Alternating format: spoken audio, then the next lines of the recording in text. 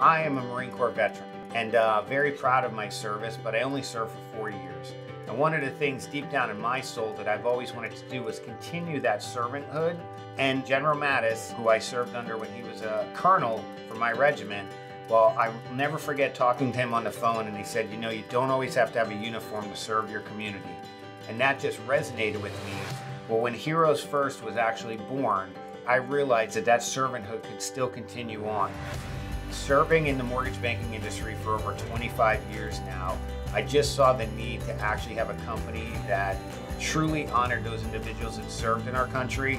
You know, a lot of people utilize the term hero. I know I've been asked what a hero is. Somebody that tirelessly serves in our community or country. Somebody that just, you know, puts it out there on the line. A police officer, a firefighter, an EMT, a teacher, a medical professional, you know, even your pastor or somebody just as that civil servant that's making sure that our communities are, are working and in order.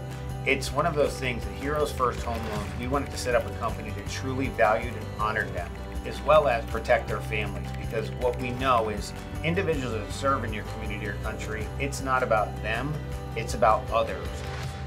In 2014, I actually went to Afghanistan and served in combat. In 2015, served in Japan and South Korea. I actually ran into Sam uh, by accident.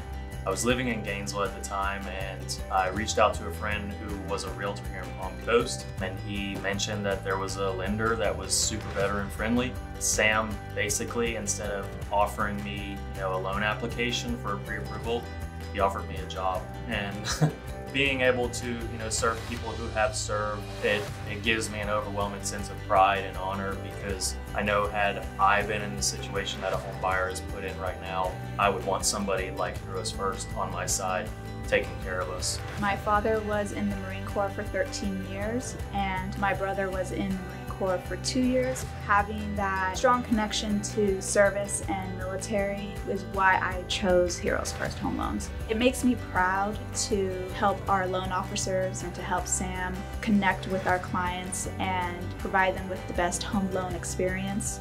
So one of the coolest parts of Heroes First Home Loans is we're trying to change the country. Sitting with so many police officers, firefighters, teachers, and EMTs, I always struggle with the fact that I can buy a house more affordably than they could.